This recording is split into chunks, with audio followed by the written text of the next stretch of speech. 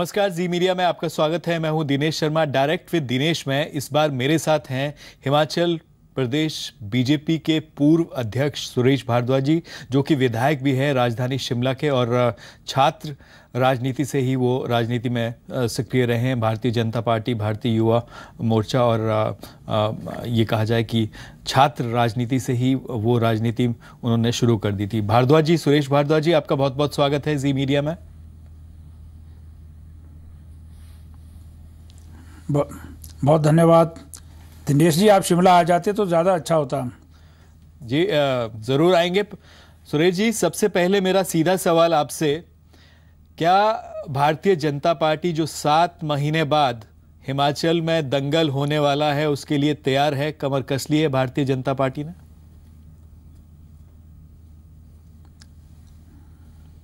बिल्कुल तैयार हैं और इस बार तो हम प्रारंभ से ही तैयार थे। जब भी विधानसभा का चुनाव होगा हम निश्चित रूप से तैयार भी मिलेंगे और जीतेंगे भी। किन मुद्दों को लेकर जो भारतीय जनता पार्टी है वो इस दंगल में उतरेगी?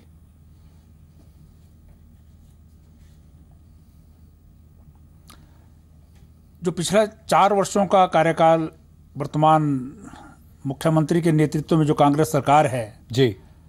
वो मैं समझता हूँ कि पूरी तरह से असफल सरकार कही जाएगी। क्योंकि माननीय मुख्यमंत्री जी स्वयं सीबीआई और ईडी के चक्कर में फंस गए। जी। जिसके कारण उनका पूरा दिमाग जो है वो उसी तरफ़ लगा रहता है और हिमाचल प्रदेश की समस्याओं को देखने के लिए या उनको समझने के लिए या उसका निदान करने के लिए उनके पास समय ही नहीं है। जी। इसलिए उन्होंने कुछ जो है वो रिटायर्ड और टायर्ड लोग जो हैं वो अपने इर्द गिर्द बिठा रखे हैं।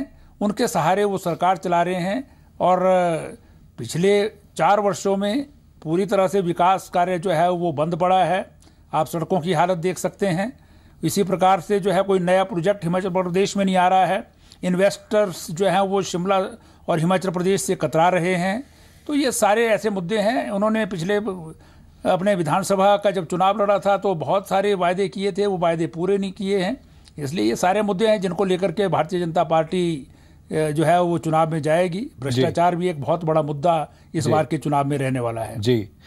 सुरेश जी आपने कहा कि मुख्यमंत्री जो है अपने मामलों में केसेस में जो है वो फंसे रहे लेकिन सरकार मुख्यमंत्री मुख्यमंत्री ये कहा जाए कि मंत्री और पार्टी ये आरोप लगा रही है कि जो ये केसेस हैं ये भारतीय जनता पार्टी एनडीए की जो सरकार है केंद्र में उन्होंने मुख्यमंत्री के खिलाफ षड्यंत्र रचा है उनको इस इन केसेस में जो है उलझाया है।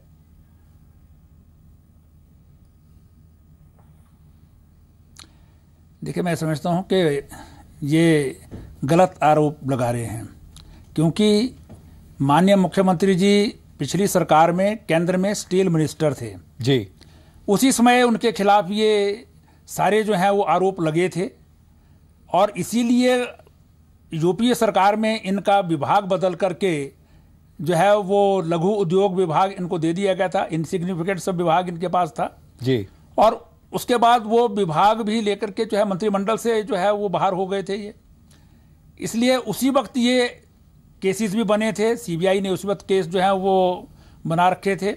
जी। हाँ उस समय यूपीए सरकार ने इनको जो है वो एक्सपीडाइट नहीं किया था और बंद कर रखा था। छानबीन नहीं हो पा रही थी। जी। एनडीए सरकार के समय भी प्रारंभ में इस पर जो है वो इन्वेस्टिगेशन जो है वो धीमी रही। जी। लेकिन हमने विधानसभा में बाहर के मुद्दे जब उठाए तो सीबीआई और ईडी जो है उस पर काम करना शुरू किया और जिसके आधार पर इनके खिलाफ आज चार्जशीट बनकर के तैयार है। जी।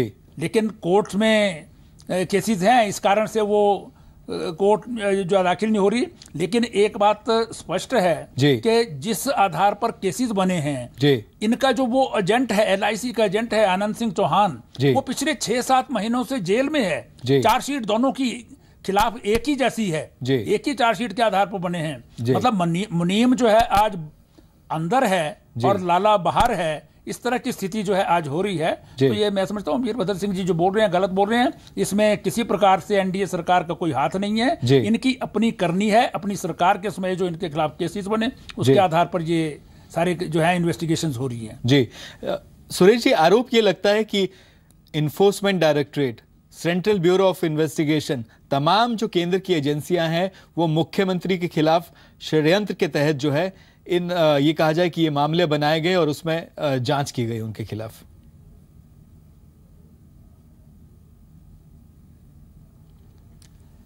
नहीं देखिए जैसे मैंने शुरू का में कहा है कि ये केसेस जो हैं वो यूपी सरकार के समय के हैं। जी। यूपी सरकार ने इनको इन्वेस्टिगेशन बंद कर रखी थी। अब इन्वेस्टिगेशन प्रारंभ हुई है। जी। और साथ ही इनके खिलाफ जो केसेस बने जी। वो निराधार नहीं है। जी। कोर्ट की स्क्रूटनी मैंने कहा है कि इनका जो मुनीम था जिसके आधार पर वो केसेस बने थे जी। वो उसके खिलाफ केस वही है जो वीरभद्र सिंह जी के तो आप कह रहे हैं कि तथ्यों के आधार पर जो है एविडेंस के आधार पर जो है केसेस जो है मामले बनाए मतलब कोर्ट की सिक्योरिटी हाँ। हाँ निश्चित रूप से। अगर एविडेंस ना होती तो आनंद सिंह चौहान को आज तक बेल मिल चुकी होती। जी। अगर वो केसेस ना होते तो वो गिरफ्तारी ना होता। गिरफ़्तार हुआ है चार्जशीट दाखिल हुई है चार्जशीट के साथ साथ उसकी जो है अभी तक जमानत तक नहीं हो पा रही है। सात महीने से जेल के अंदर है। तो इसलिए हम ये नहीं कह सकते कि भी उनके खिलाफ केस नहीं है। फिशाई केस जब बनता है तभी किसी को जो है वो जेल में बंद किया जाता है और उसकी जो है जमानत पर भी कोर्ट जो है वो पूरा विचार करती है। और कोर्ट ने दो तीन बार उनकी जमानतें जो है वो रिजेक्ट की हैं।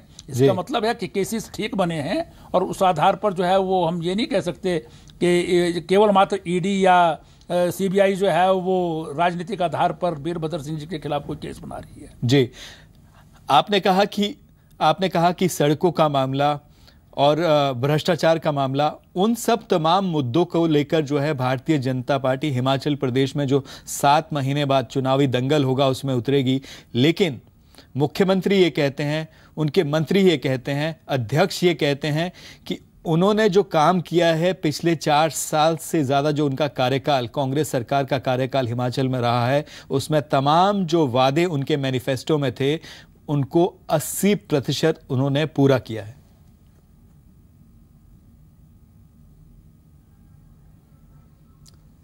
देखिए एक तरफ़ तो मुख्यमंत्री जी ये कहते हैं कि जो मैनिफेस्टो बनाया वो जो लोग थे वो जूनियर लोग थे या जिनको सरकार की समझ नहीं थी उन्होंने वो मैनिफेस्टो बनाया। जी। इसलिए मैं अनएम्प्लॉयमेंट अलाउंस जो उन्होंने घोषित किया है उसको लागू नहीं कर सकता। जी।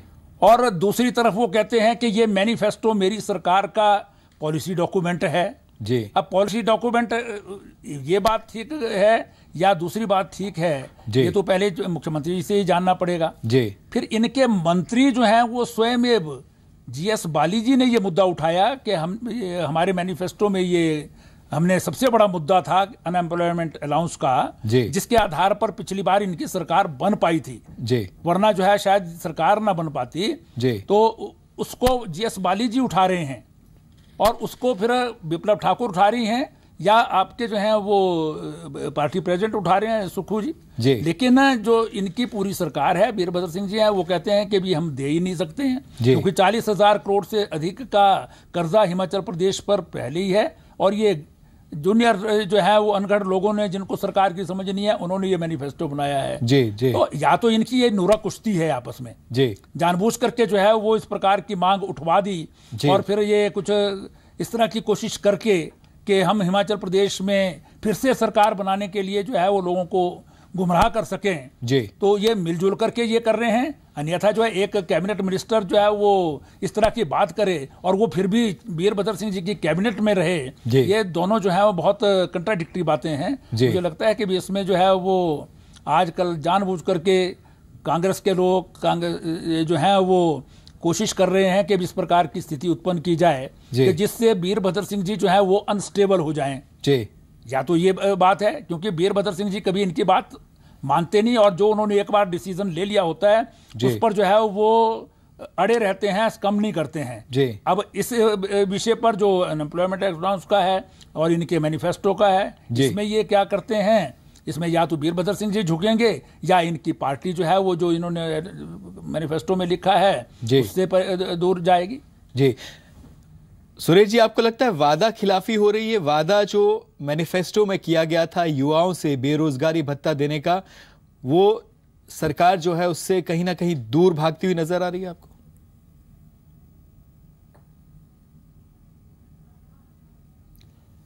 देखिए चार साल से अधिक का समय हो गया है सरकार को जी। अनएम्प्लॉयमेंट अलाउंस देंगे हम ये कोई ऐसा वादा नहीं है जो पाँच साल के अंत में जो है वो पूरा किया जाए। जी। जब तक आपकी सरकार है जी। आपको तो तुरंत आकर के इस प्रकार के वादे को पूरा करना होता है। जी। तो साढ़े चार साल के लगभग समय हो चुका है अभी तक तो इन्होंने ये वादा पूरा नहीं किया और अब इनकी आपस की ये नूरा कुश्ती टाइप जो है वो घमासान चला हुआ है कांग्रेस संगठन और सरकार और मंत्रियों और मुख्यमंत्रियों के बीच में। जी। तो ये वादा खिलाफी तो निश्चित रूप से क्योंकि कांग्रेस का इतिहास ही रहा है कि वो वादा खिलाफी करती रही है। जी। ये निश्चित रूप से यहाँ पर भी वादा खिलाफी हो रही है युवाओं के साथ। जी। सुरेश जी भारतीय जनता पार्टी का चेहरा कौन होगा? कांग्रेस कहती है कि उन उनमें जो है, कांग्रेस में जो है, चेहरे को लेकर कोई दिक्कत नहीं है। स्पष्ट है, मुख्यमंत्री वीरभद्र सिंह जो है 2017 के दंगल में कांग्रेस के चेहरा होंगे। मुख्यमंत्री पद के दावेदार फिर से एक बार होंगे। बीजेपी में कौन होगा? बीजेपी में क्या विपक्ष के जो नेता हैं, प्रेम कुमार धूमल, वो ही बीजेपी का चेहरा होगे या फिर अभी हाईकमांड इस पर फैसला करेगा?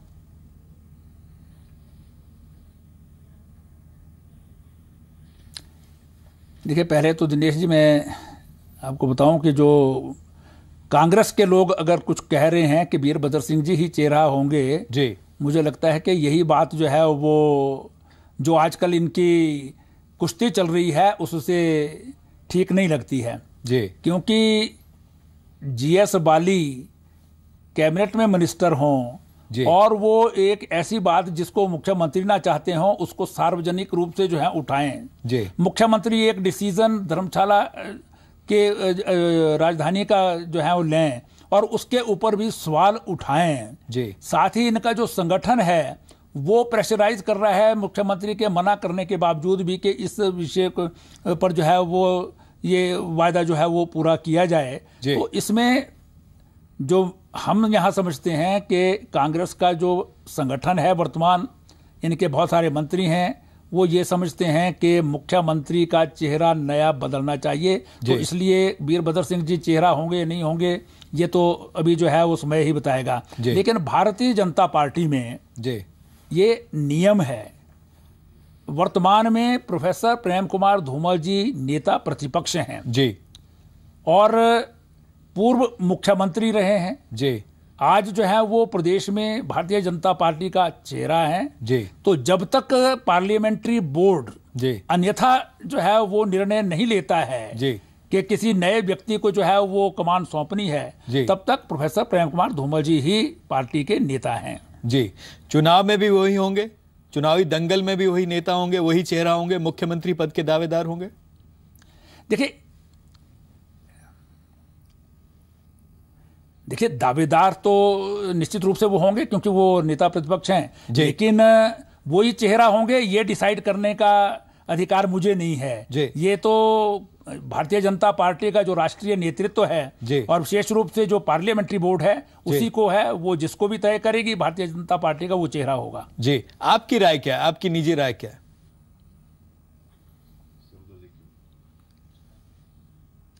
देखिए मैं समझता हूँ मेरी निजी राय तो वही है जो पार्टी का पार्लियामेंट्री बोर्ड कहेगा क्योंकि पार्लियामेंट्री बोर्ड जो है वो निजी राय नहीं पूछता है। जब चुनाव हो जाते हैं उसके बाद विधायक चुने जाते हैं तब तो पूछा जाएगा। लेकिन उससे पहले नहीं पूछा जाता है तो इससे मैं समझता हूँ कि हमारे केंद्रीय नेतृत्व को डिसाइड करने दीजिए इसको।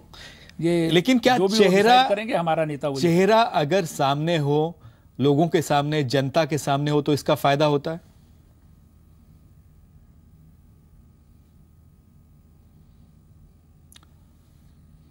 हाँ ज़्यादातर जो है वो होता है लेकिन ये आवश्यक भी नहीं है क्योंकि भारतीय जनता पार्टी तो एक कैडर बेस्ड मास ऑर्गेनाइजेशन है। जी। इसलिए यहाँ पर पार्टी का जो केंद्रीय नेतृत्व है वो डिसाइड करता है। और ऐसा ही पहले कांग्रेस में भी हुआ करता था। जी। वहाँ पर भी जब चुनाव हो जाते थे उसके बाद ही मुख्यमंत्री जो है वो चुना जाता था। जी। तो भारतीय जनता पार्टी में चेहरा सामने हो तो कई बार जो है वो ठीक रहता है कि उसके कारण जो है वो वो अपने हिसाब से जो है वो कंपेन या सारी स्थितियाँ जो है बनाता है। लेकिन केंद्रीय नेतृत्व जो है वो अगर बिना चेहरे के भी जो है तय करे तो मुझे लगता है कि भाई कलेक्टिव लीडरशिप सब जो है वो काम करते हैं और उसके आधार पर मुद्दों के आधार पर कैडर के आधार पर और अपनी जो है वो छवि के आधार पर पार्टी जीतती है। उसके बाद पार्लियामेंट्री बोर्ड किसी को भी नेता तय कर सकता है। जी। ऐसी भी चर्चाएँ हैं सुरेश जी की पाँच राज्यों में विधानसभा चुनाव के बाद। स्वास्थ्य मंत्री जेपी नड्डा को जो है वो हिमाचल प्रदेश बीजेपी की कमान दी जा सकती है।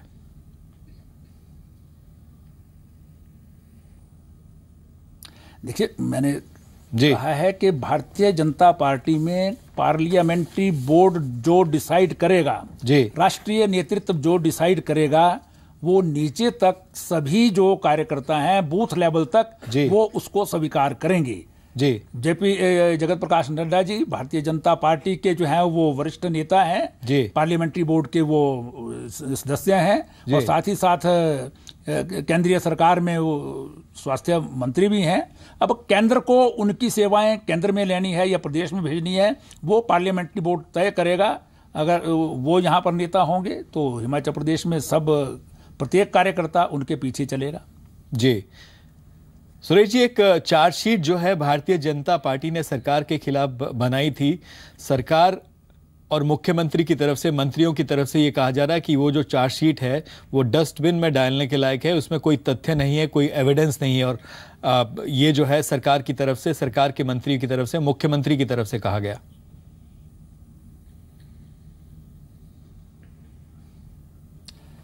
देखिए जब चार्जशीट बनती है तब ऐसा ही कहते हैं कांग्रेस के नेता मंत्री और मुख्यमंत्री। जब बाद में उसके आधार पर इनके खिलाफ केसेस बनते हैं जब ये जेल जाते हैं तब कहते हैं कि ये पॉलिटिकल वेंडेटा है। जी। हमने जो है वो तथ्यों के आधार पर वो चार्जशीट बनाई है। जी। हमारे पास पूरे उसके जो है वो बाकायदा तथ्य हैं। उसके हमने कागज़ ले रखे हैं आरटीआई से इंफॉर्मेशन ले रखी हैं। उसके आधार पर वो चार्जशीट बनाई है। जी। और उसके हमने जो है वो राज्यपाल महोदय को सौंपा है और हमने कहा है इसकी इन्वेस्टिगेशन आप किसी भी केंद्रीय एजेंसी से कराएँ या हिमाचल प्रदेश की एजेंसी से कराएँ या आप जुडिशियल कमीशन बनाएँ। जी। लेकिन ये सारे के सारे जो acts of omission and commission है वो चार्जशीट में जो है वो हमने संकलित किए हैं और आज वास्तव में प्रदेश में भ्रष्टाचार का ही बोलबाला है माफियाओं का बोलबाला है। जी। और यहाँ पर जो है चाहे लॉ एंड ऑर्डर है या यहाँ पर माफ़ी विकास के काम हैं उन सब में माफिया काम कर रहे हैं चाहे खनन के क्षेत्र में हो नशा के क्षेत्र में तो स्वयं जो है वो पंजाब हाई कोर्ट में एफिडेविट एसपी के द्वारा गया है कि जो नशा पंजाब में भी जा रहा है वो हिमाचल से जा रहा है। जी। अब ये सारी चीज़ें हमने तथ्यों के आधार पर चार्जशीट में दी हैं। जी। अब मुख्यमंत्री या मंत्री कहें कि ये डस्टबिन में डालने वाली बात है तो फिर ये डरे हुए क्यों थे जब चार्जशीट थी? अभी भी जो है वो अगर ये चाहें तो ये केसेस भी कर सकते हैं वरना इसकी इन्वेस्टिगेशन कराएँ। अगर प्रूव होगा तो ठीक है नहीं प्रूव होगा तो हम गलत साबित हो जाएँगे। जी। आपने कहा कि माफिया राज कांग्रेस की तरफ़ से कहा जाता है सरकार की तरफ़ से कहा जाता है जो माफिया राज के जो बात वो भारतीय जनता पार्टी की जब सरकार थी तो उन्होंने से, स्टेट फॉर सेल ये नारा दिया था सत्ता में आने से पहले। इसी को भारतीय जनता पार्टी ने जो है कॉपी किया है चुराया है।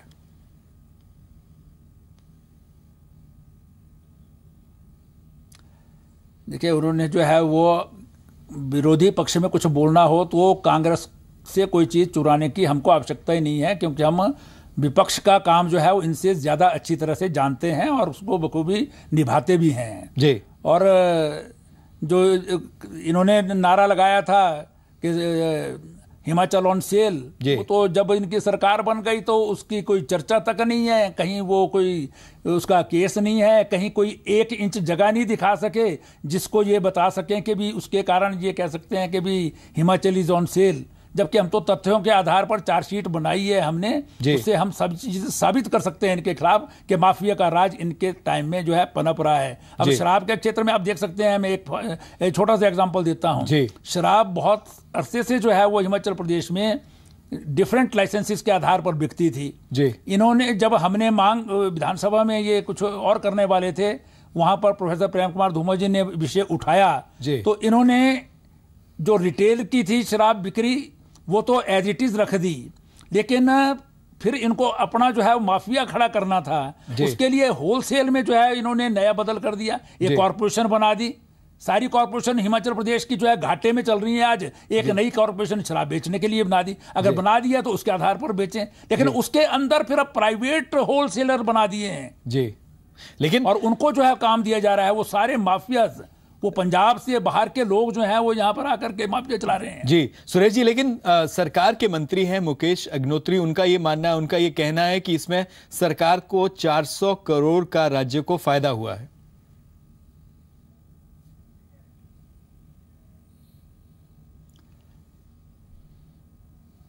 मैं समझता हूँ कि वो अभी बजट आना है। जी। उसमें वो बताएँगे। और अगर ये उस तरह की जो है चीज़ बताते हैं तो हम जो डिमांड्स पर होगा इस बार प्रायोरिटीज में उसमें देंगे उसमें डिस्कशन करेंगे। जी। लेकिन बाहर से लोग आकर के आप जो है जो हिमाचल प्रदेश की शराब बनाने वाली फैक्ट्री है ऊना में महतपुर में जी। जो देसी शराब बनाती है उसको भी प्रेशराइज किया जा रहा है कि आप पर्टिकुलर ब्रांड जो है वो इनसे खरीदिए और फिर आगे जो है वो उसको बेचिए।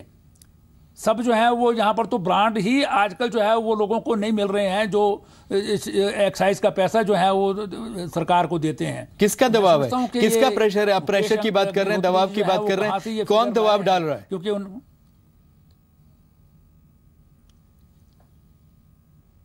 देखिए मुख्यमंत्री जी और कुछ उनके जो हैं चुने हुए मंत्री हैं जी। वो सब जो है वो इस प्रकार की चीज़ें जो है कर रहे हैं। और पंजाब के कुछ लोगों के साथ जो है उनके संबंध हैं। और हिमाचल प्रदेश में इस प्रकार के माफिया जो है वो होलसेलर्स खड़े कर रहे हैं। जी। उस कॉरपोरेशन में 400 करोड़ का तो सवाल ही पैदा नहीं होता है। वहाँ तो मेरे ख्याल में जो है वो जो ब्रांड्स बिकनी थी थी यहाँ पर वो भी नहीं बिक रही हैं आजकल। जी। क्योंकि उन वो जो ब्रांड बेचना चाहता है उसको पहले जो है वो सेवा करनी पड़ती है उन अथॉरिटीज की जो। इसमें इन्वॉल्व हैं। अगर वो नहीं करते हैं तो उनको माल जो है वो नहीं बेच सकते हैं। जी। तो सरकार की तरफ़ से ये झूठ कहा जा रहा है क्या? झूठ झूठी बात आ, कही जा रही है? निश्चित निश्चित रूप से देखिए निश्चित रूप से ये केवल मात्र जो है वो माफिया शराब माफिया यहाँ पर जो है वो काम कर रहा है। अन्यथा जो है वो हिमाचल प्रदेश को 400 करोड़ की जो है वो बढ़ोतरी केवल मात्र अगर एल वन के कारण हुई है तो ये फिर तो उनको जो है हमको पीठ थपथवानी पड़ेगी। लेकिन ऐसा जो है वो 400 करोड़ का आंकड़ा कहाँ से लाए हैं ये मुझे नहीं मालूम। जी। सुरेश जी दूसरा आपने बात की ड्रग्स की बात की। क्या राज्य में सही में ड्रग्स की समस्या है या फिर कांग्रेस सरकार कह रही है कि उन्होंने ड्रग्स की जो समस्या है उसको दूर करने के लिए सख्ती से पुलिस ने प्रशासन ने काम किया है? जिस तरह से बात कही जा रही है जिस तरह से बदनाम किया जा रहा है हिमाचल को ज़्यादा बदनाम किया जा रहा है। ड्रग्स की कोई बड़ी समस्या जो है हिमाचल में नहीं है।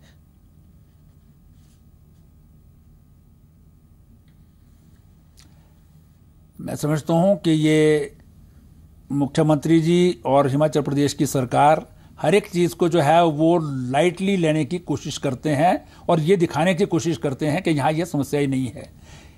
आप बहुत सारे जो है वो एनजीओ की और ऐसी रिपोर्ट्स हैं जिसमें शिमला जैसे शहर को जो हिमाचल प्रदेश की राजधानी है पीसफुल शहर है इसको हिंदुस्तान के जो छोटे शहर हैं उनमें नशाखोरी के लिए नंबर एक पर जो है वो गिना जा रहा है। जी। और यहाँ बाहर से सारा जो है वो नशा जो आता है। अब हम समझते थे कि ये शायद पंजाब से आता है लेकिन पंजाब के एसपी की जो रिपोर्ट दाखिल हुई है हाई कोर्ट में वो ये कहते हैं कि ये सारा हिमाचल प्रदेश से पंजाब में आ रहा है। जी। और मुकेश अग्निहोत्री जी के अपने विधानसभा क्षेत्र में बहुत बड़ा एजिटेशन नशाखोरी को लेकर के जो है वहाँ पर आए दिन जो है वो चलता रहता है। वहाँ पर ये खुद भी, भी इन्होंने इस बात को माना है कि जी वहाँ पर जो है इस प्रकार की चीज़ बिकती है। वो पंजाब से आती है या हिमाचल में ही होती है? ये तो इनका विषय है कि भी उसको अगर बाहर से आती है तो उसको रोकें। जी। लेकिन इसी प्रकार से आजकल देख रहे होंगे आप आजकल जो है वो स्थान स्थान पर जो है वो बहुत बड़ी मात्रा में इस प्रकार के जो है नशाखोरी वाली जो चीज़ें हैं चाहे सुल्फा है या कोकीन है इस तरह की दूसरी चीज़ें जो है वो यहाँ पाई जा रही हैं। और बड़ी मात्रा में जो है वो नशा चाहे वो उत्तराखंड के रास्ते से जो है वो शिलाई चौपाल होते हुए शिमला की ओर पहुँचता है। इधर से जो है वो बद्दी बरोटी वाला इत्यादि से जो है वो इधर को पहुँच रहा है और उस पर कोई नकेल जो है वो इनकी तरफ़ से नहीं लगाई जा रही है। ये हर एक इशू को लाइटली लेते हैं और इसमें शायद लाइटली इसलिए लेते होंगे कि इनके साथ कोई संबंध होंगे लोगों के।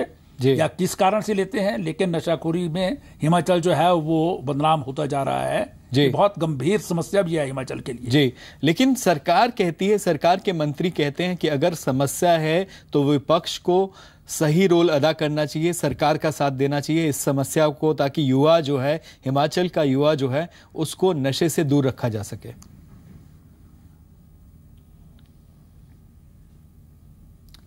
देखिए इस बारे में जो है कब हमने विरोध किया है इनका? ये इस पर जो है वो एक्शन लें जो कल्प्रेट्स हैं उनको पकड़ें। जी। और नशा जहाँ बिक रहा है उसके ऊपर जो है वो कार्रवाई किया करें। और जहाँ इसमें विपक्ष की आवश्यकता है इनको हमारी आवश्यकता है स्थानीय विधायकों की ज़रूरत पड़ती है। कभी भी किसी भारतीय जनता पार्टी के कार्यकर्ता या विधायक ने इस बात से मना नहीं किया है। हमेशा इनका जो है वो साथ देने को सहयोग करने को तैयार हैं। लेकिन हिमाचल प्रदेश देवभूमि कहलाता है। इसलिए हिमाचल प्रदेश में जो है वो नशाखोरी जैसी चीज़ें जो है वो यहाँ पर पनपे। इसको जो है सहन नहीं किया जा सकता है। अगर ये एक्शन नहीं लेंगे तो निश्चित रूप से भारतीय जनता पार्टी जो है अपने विरोधी दल का जो काम है, वो तो पूरा करेगी। जी। अगर विपक्ष की भूमिका देखी जाए सुरेश जी, आपने ये कहा जाए कि कांग्रेस सवाल उठाती है कि भारतीय जनता पार्टी जो है सही से विपक्ष की भूमिका भी नहीं निभा पाई है। लेकिन आप कैसे देखते हैं विपक्ष के रोल को? विपक्ष में बैठकर कैसे आप अपने रोल को आपने जो रोल अदा किया विपक्ष ने जो रोल अदा किया उसको कैसे आंकते हैं?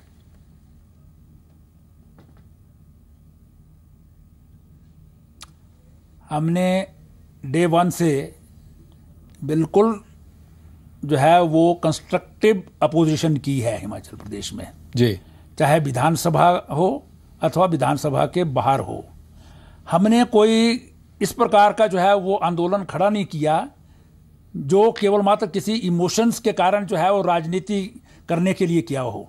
हमने मुद्दों के आधार पर इनको आगाह करने की कोशिश की हो की है।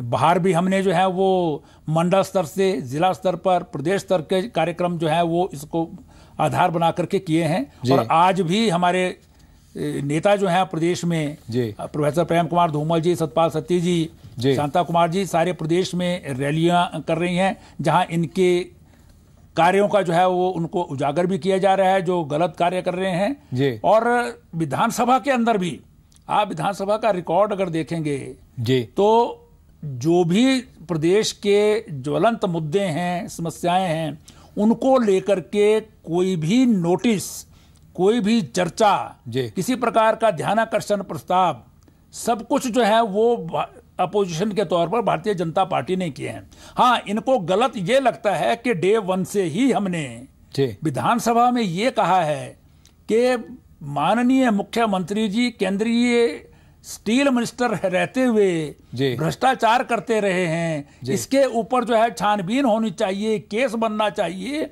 उसके कारण जो है वो इनको लगता है कि भी हम जो है वो प्रॉपर अपोजिशन नहीं कर रहे हैं। तो ये एक मुद्दा इनके कारण इनकी सोच का हो सकता है। अदरवाइज़ जो। है टोटल अब ये तो विधानसभा में ये चाहते ही नहीं है कि हम चर्चा करें। जी। क्योंकि आपने देखा होगा कि जब भी विधानसभा का सेशन तय करती है कैबिनेट जी। उसके तीन चार दिन में मुख्यमंत्री जी कोई ना कोई बयान जो है इस प्रकार के दे देते हैं जिसमें जो है वो किसी ना किसी विधायक को जो है अटैक कर देंगे। अब कोई विधायक दुकान चलाता था वहाँ पर वो बहुत सारा सामान बेचता था करियाने की दुकान करता था।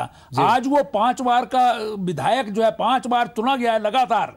बिना एक बार भी हारे बिना और एक कंस्टिट्यूंसी भी बदली गई उसकी तब भी जीता है। उसके बारे में जो है वो टिप्पणी करेंगे।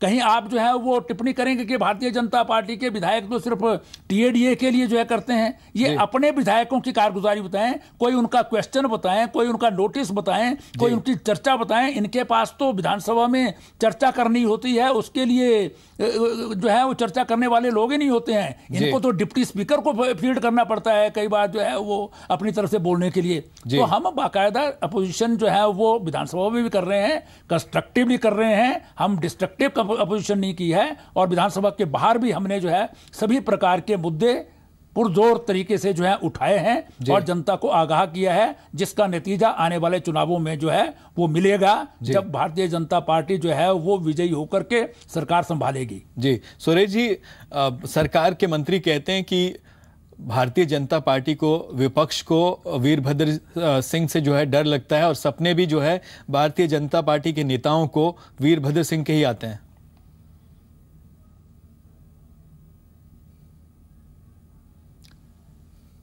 देखिए ये तो मुझे लगता है कि जो सपने आते हैं वो उन्हीं को आते हैं क्योंकि उनको रोज़ाना जो है वो वीरभद्र सिंह जी की पूजा करनी होती है। भारतीय जनता पार्टी ने जो है वो वीरभद्र सिंह जी हों या कौल सिंह जी हों या कोई और हों उससे हमें जो है वो कोई मतलब नहीं है। भारतीय जनता पार्टी अपनी नीतियों के आधार पर अपने नेताओं के काम के आधार पर और अपने जो है, वो कैडर है, उनके आधार पर जो है, विजयी भी होती है, काम भी करती है। इसलिए वीरभद्र सिंह जी जो है, वो कुछ करें, वो अच्छा काम करेंगे तो प्रदेश की जनता का हित तो होगा। अगर वो केवल मात्र जो है, वो अपने केसेस में उलझे हुए, जैसे आजकल कर रहे हैं तो उस प्रकार का काम करेंगे तो हिमाचल प्रदेश जो है, वो किस दिशा में जाएगा, ये कहना जो है, वो संभव नहीं है। जी।